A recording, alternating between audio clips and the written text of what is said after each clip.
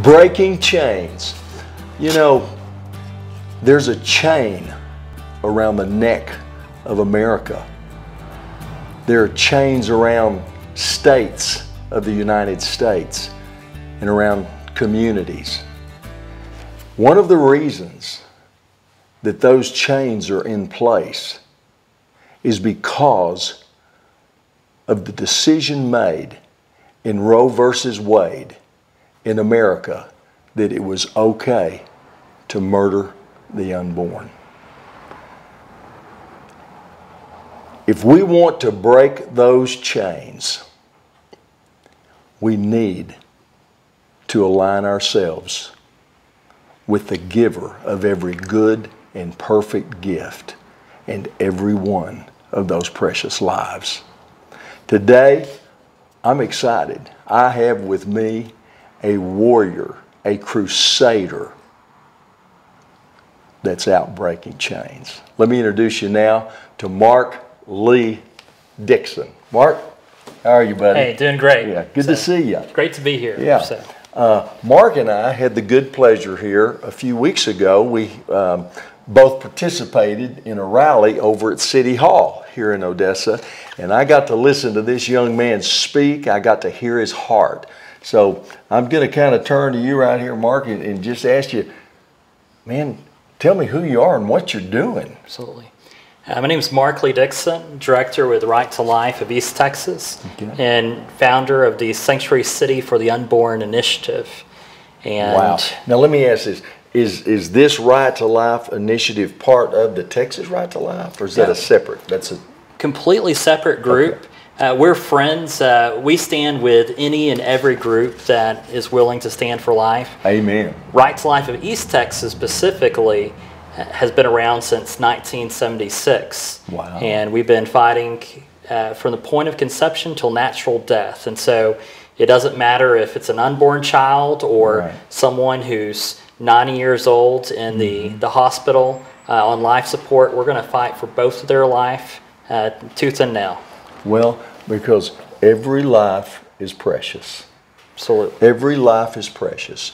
And when we, when any one of us takes a thought that is any less than that, we're exposing ourselves to chains. So, Mark, tell me a little bit how you got involved. And I heard your passion out there that day in front of City Hall. How did you get engaged to this degree and this depth? Well, uh, my grandfather, uh, Glenn Canfield Jr., was the Gregg County Republican chair, Okay. and he was also on the board for Right to Life of East Texas. And so, growing up, when I would spend the night at Grandma's house, Okay. uh, my grandfather would be working on in the office on the Right to Life newsletter. And Wow. I remember hearing at a ver- very early uh, age, uh, you know, I asked questions. Well, what what was that about? And it was explained to me that that there are some people out in this world who believe it's okay to end the life of a child, and Grandpa fights against that idea. That Yeah. idea that that a, a- baby in the womb Yes. uh, that we can take that life. Wow. So, Wow. and one of the things that really impacted me, Mm-hmm. uh, every year he would have a booth at the Gregg County Fair. Okay. And Okay. I'd be really, really small, and I'd go up to this booth, and they would have these fetal models there. And Wow. those fetal models really made an impact on me. And, Okay. and every year I look forward to, to working that fair booth. And as people go by, as, as parents are taking their kids just around the different booths, we hear kids all the time say, Look, mom, it's a baby. And what they're pointing to is something like this right here. This is a Oh, my word. 12 week fetal model. And uh, what's incredible about that is if you were to take a picture of that face and mm-hmm. put it on Facebook, mm-hmm. you know what Facebook is going to ask you? Which friend do you want to tag? Because Facebook sees a face there. And there is a face there. There is a face there, Absolutely. a fully formed face. Absolutely. Wow, at 12 weeks. 12 weeks. Yeah. And, and you can A see. precious, precious little life. Absolutely. And you can see facial features and, and those, those arms and legs at earlier stages as well. Sure. But uh, I carry around this one with me, and, and every time I, uh, you know, I'll, I'll pray over, over this regular basis. Because conversations I have, if someone uh, who I, I use Lyft and Uber services a lot, and and a lot of times I'll be talking to the person, and and they'll be, well, I'm just not sure. Be like, well, have you ever seen? Yeah, yeah, in fact, let me just move this up a little bit closer to you to show you those facial features of this little 12 month old child. Absolutely. Yeah. And so this was instilled to me this idea that this is a human being that me and you both were once this size. That's right. Um, right. We, we're not here without having been that right, size. right. and it, it- it's it's wild to think, you know, That we've just decided it's okay to Yeah. take that life. absolutely. Yeah. Just because that little innocent one cannot defend itself. And and Which what puts all the more onus of responsibility upon us to defend the rights of this precious unborn. Absolutely. And what really got me into uh, what I'm doing right now with the Sanctuary City for the Unborn Initiative is uh, I would I was driven out to that sidewalk to share the gospel of Jesus Christ on the at the abortion clinics. Okay. And so from Longview, Texas, and that's about an, an hour from uh, Shreveport, Louisiana, and that's where the closest surgical and medical abortion clinic was to, to where we're at in Longview. Okay. And as I would go out there on that sidewalk, this abortion facility in Shreveport, it's called Hope Medical Group for Women. Horrible name for abortion facility. They would do about 100 abortions a week, at 20 every Tuesday, Did you hear that? A hundred abortions a week. 20 every Tuesday, 30 every Thursday, and about 50 every Saturday. And what I like to do to help put that in perspective for people is uh, let's look at school massacres. Because because they get a lot of coverage, don't They they? do, absolutely. And, and rightfully so. Absolutely. Anytime innocent life is taken, you know, we, we It need ought to. to get attention. absolutely. It ought to be a wake up call. And every Tuesday at the abortion clinic, about 20 innocent lives lost. That's like a Parkland school massacre. And if you think about all the lives that were shown on TV uh, of having been lost in that horrible, horrible massacre, and it was it was right to show those those innocent children. Right. Um, it was right to sh- to have To a show their faces. to, to have a prayer vigil. It was right to, to, to really remember those lives. That it is a horrible thing when these kind of things happen. Every Thursday, got 30 innocent lives. Well, that's like a Virginia Tech massacre. Yeah. I remember where I was when The Virginia Tech massacre took place. yeah. And you know, my my eyes were glued and I was praying to God, please God, let the killing stop. Well, uh, you know, in, in, in Odessa, Midland, Texas, we had a shooter here Absolutely. a few years ago. We all know how how that ravaged our communities and and the fear that that ensued. But we're we're talking about very glibly allowing 30 abortions on a Thursday. And, and we should view each one of those as separate massacres. And we should say that that should never happen. And we need to do everything in our power to make Say sure. no. Yeah. To say no. I mean, if, if there was a school shooting every single two time, two to three days a week Yeah. here in Odessa, Yeah. I guarantee you people would be up in arms wanting to put an end to it. Right. And so, do we have that same kind of, of, of passion for smaller children?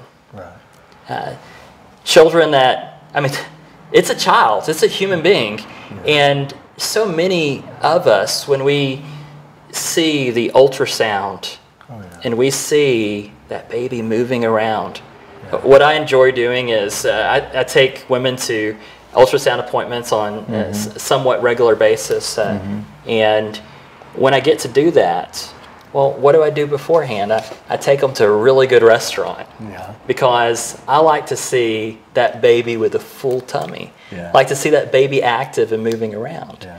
And it's amazing to watch. Yes, it is. I've, I'm blessed to have six children, 18 grandchildren, and and I love when that life begins to make itself known, where you can visibly see it.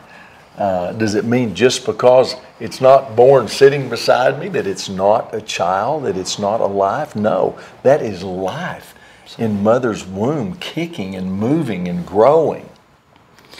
And in what we saw at the, the abortion facility, that we would reach out, we would see lives saved. We would see women choose to, to, to choose life. Yes. And the message we constantly gave was trust in the Lord with all your heart Amen. and lean not on your own understanding, which has brought you here, Right. but acknowledge the Lord in all of your ways, Yeah. and He will direct Your your, path. path. away from that place. Exactly. And we would see, and we would let them know that, you know, God has chosen them to be a good mother to that child. Yes. And we, three words that most controversial outside of abortion facilities.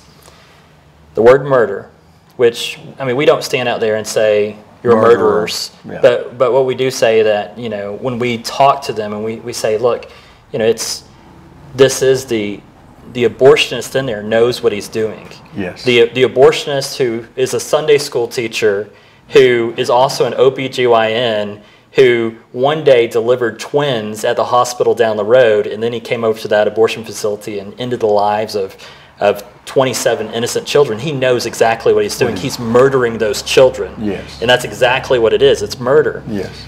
Well, some people don't want to call it that, but that's what it is. That's what Well- the abortionist is doing. Exactly. And, and, and that's the way the enemy works. And that's the way he puts chains around people's necks is, is he misnomers, if you will.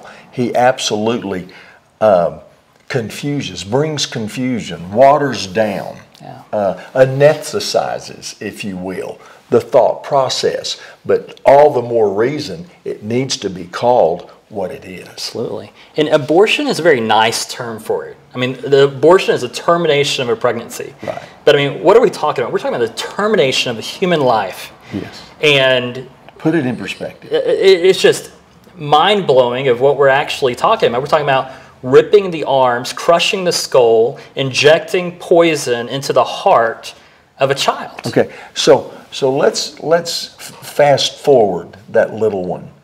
Would you do that to that little one-year-old?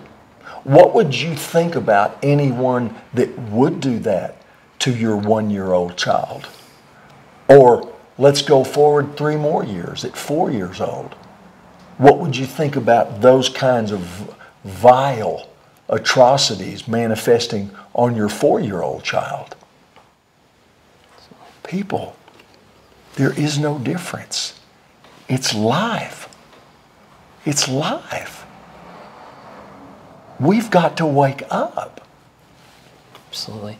The two other words that I find most controversial outside of uh, abortion facilities, the word Jesus, because people don't want to bring Jesus into the equation. Right. And, and I think part of the reason of that is because when you bring Jesus into the equation, if I tell you that Jesus believes in you, Yes. that, that's a weighty thing Yes, right there.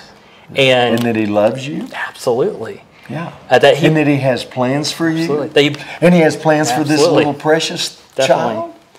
That's convicting. And tied to that, the last word, mother. Um, Mm. That when you say that God believes that you can be a great mother to that child, Yes. it just puts so much weight. And we're, we're not trying to, No. you know, manipulate women or anything. No, but no, no. We're trying to give them the truth because truth sets free. Truth breaks chains. Absolutely. And when people realize that God has, that they didn't get pregnant by accident. I mean, they may have seen it as an accident, but ultimately, in the sovereign hand of God, Because God is God, because God is the one that allows the conception, because God is the one that designed the conception of the egg and the seed. This is God's work. This is God's business. So when we take it when we take it into our own hands, we are taking God out of the equation and we will reap the consequences of that decision. And that's why I love what you just said. If everyone would know the moment they will cease leaning under their own understanding and begin to acknowledge God, God runs to meet them. God runs to meet us. I was a wretched man, a sinner among sinners, as, as Paul said. But let me tell you, God welcomes we prodigal sons, we prodigal children with mm. open, loving arms. And He will do it even after you have made that mistake. Because, see, here's the way the enemy of our soul works you make one mistake, he, he entices you into the mistake, first off. Right. Entices you into a, a compromising situation, even through the lust of our flesh. And then the conception, and then the horrific thoughts, the fear. So then he starts to beat on a, a young woman. Just, let me tell you, I'm speaking for 23 years, Mark Lee. We've been working, and many of the women, the hundreds of women we've worked with, many of their root issues lie in having aborted their precious babies. And then the enemy persuades them to another escape, if you will, through drugs or alcohol or abusive relationships because now they feel less than. They feel shame and guilt because now the enemy is beating them over the head with shame, guilt, and condemnation. And so they're trying to escape that and numb that down when all that had to happen was what you just said. Even at that moment, if a mistake has been made, understand in God's eyes, He's bigger. He's bigger. And He loves you and He loves this precious baby. And He wants you to be the mother that He saw you to be when He allowed that conception.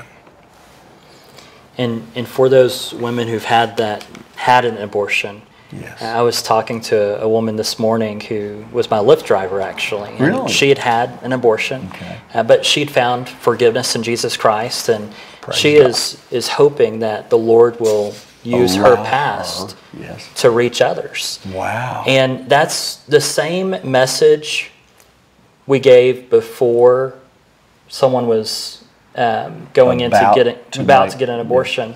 Is the same message afterwards that it's still trust in the Lord with all your heart and lean not on your own understanding. Yeah. In all your ways, acknowledge Him and He will direct your path. Yes. And you know, we see all the time throughout Scripture people that have done horrible things. We've all done horrible things. Yes. And the enemy wants us to dwell on, On the, the horrible, horrible things. But the Lord wants us to, to move past. absolutely. And while He's the, the, enemy God of restoration. Absolutely. He's the God of restoring us out of the pits that we have dug. Okay. And just as the now the enemy wants uh, wants to normalize our sin. He wants Right. us to to say to others it's okay. Right. But the Lord Misery loves company. Absolutely. But the Lord wants us to tell people it's not okay Right. and to point to his standard. Yes. And you know, we have such a great God because not only does he knit us together in our Oh. Mother's womb, that he is the knitter Yes. uh, in the womb, but he's also the knitter in our in our lives throughout Yes, in our throughout. relationships. Absolutely. And, and he will repair. Uh, ha- how many times have we maybe got a snag in our, our jacket or, or shirt and we ended up going to our mother or grandmother Right. and, and they they knit it, knit it for us. repair. So, Exactly. You know, I think uh, there, there's a few things you need to under, understand that, that we can look at according to God's Word. I think back, first of all, we've just come through the Christmas season. Absolutely. And, you know, what is it that moves us so in that season, but an appreciation of a precious baby? Not just any baby in this scenario, but basically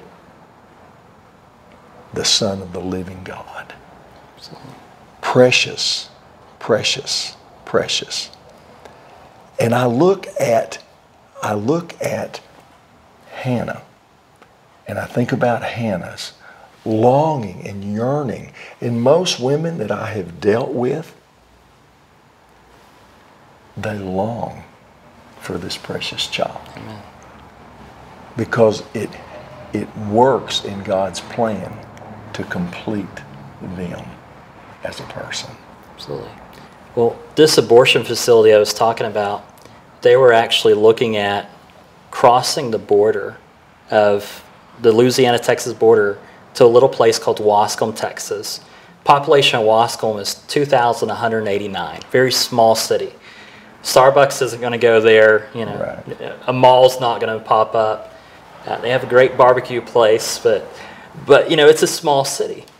And that abortion facility was at one time looking at crossing the border and the whole this was in a an old newspaper article from the Marshall News Messenger and uh, the director at that time in the early 90s had said that uh, when this was published uh, they said that if abortion ever shut down in Louisiana it would make sense to cross the border to Waskom, Texas.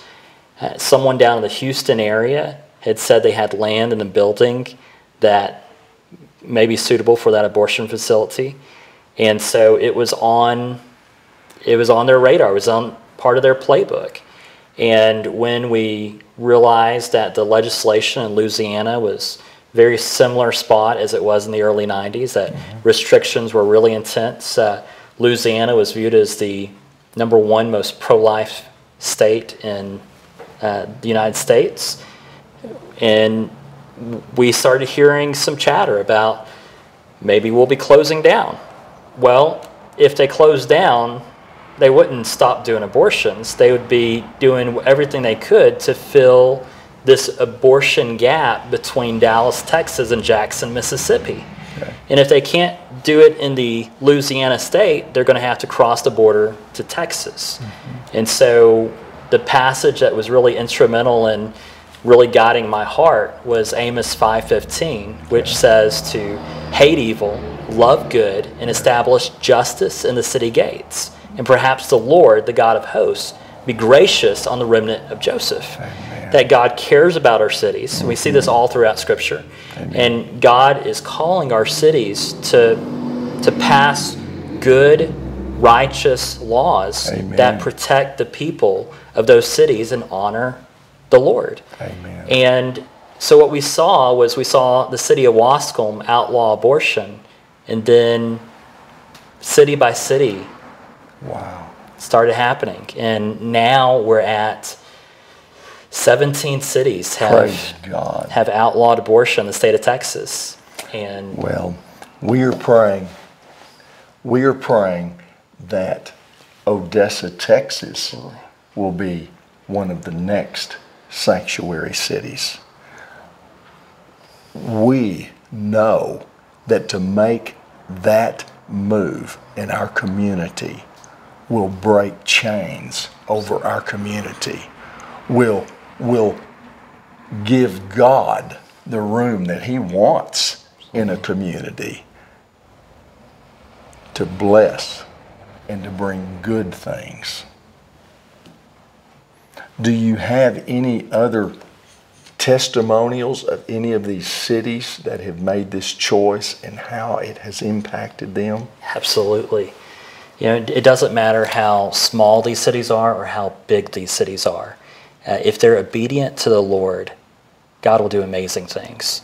The city of Joaquin, Texas, city about 850 people, Okay. unanimous vote across the board. But one council member said, you know, sh- that she was going to vote for this ordinance, but she wanted to let everyone there know that if anyone there found themselves, she could not have children. If anyone there found themselves in a place where they could not take care of that child, to let let her know. Wow.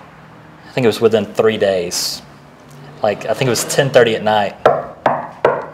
Knock on her door, and she ended up taking in a child. Wow. And so, by being faithful to the Lord, by saying that babies are not going to be murdered in our cities, whether it's Joaquin, Texas, or Whiteface, Texas, Yes. another amazing story, Yes.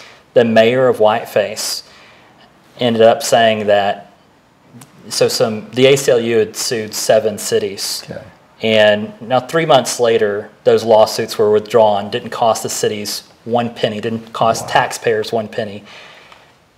Uh, we saw a great victory there, but at that time, we didn't know the victory was coming.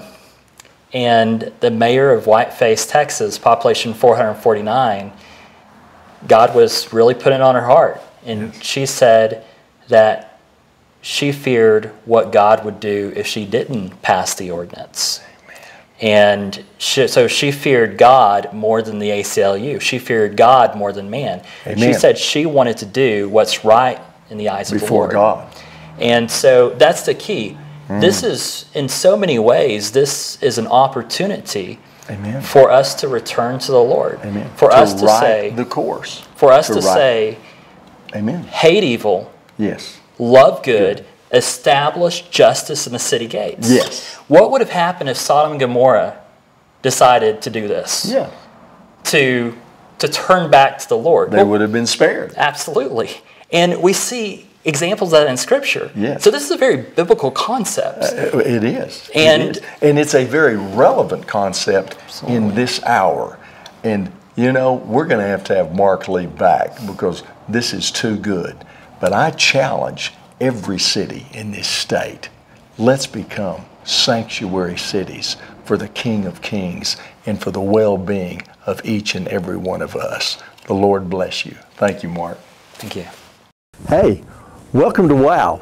You know, we want to stop today and just tell you a little bit about one of the amazing facets of Mission Messiah, and that is the WOW Warehouse. And you actually can go online to wowwarehouse.org and find many of the amazing products that you find in the WOW Warehouse. One of the ways that you support Mission Messiah and the work that goes on through the mission and enables us to present encouraging television to you is through the purchase or investment in products from WOW. I'm going to show you one of our really fun products that we have sold so many of these over the years, but they're called soap rocks. But the guy, the, the inventor, creator of this piece was actually a geologist. These soap bars look like incredibly gorgeous geological rocks. Go to wowwarehouse.org and look through our assortment of some of these beautiful soaps. Put one in your bathroom. The Lord bless you.